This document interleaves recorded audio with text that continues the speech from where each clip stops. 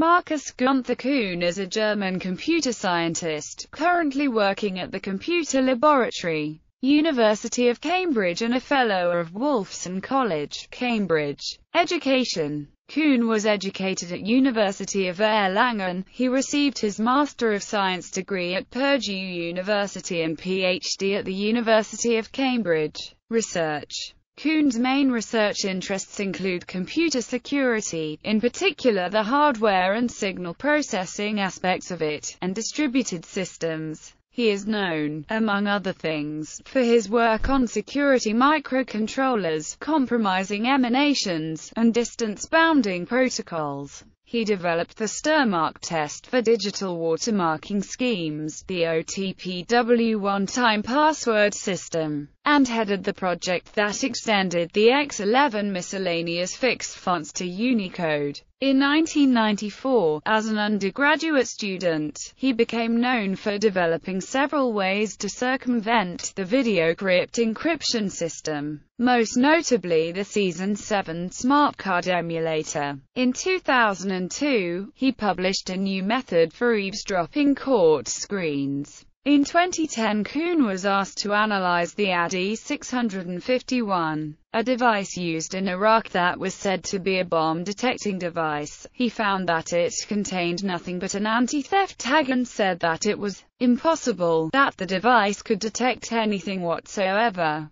He is also known for some of his work on international standardization, such as pioneering the introduction of Unicode UTF-8 under Linux awards and honors. In 1987 and 1988, he won the German National Computer Science Contest, and in 1989, he won a gold medal for the West German team at the International Olympiad in Informatics.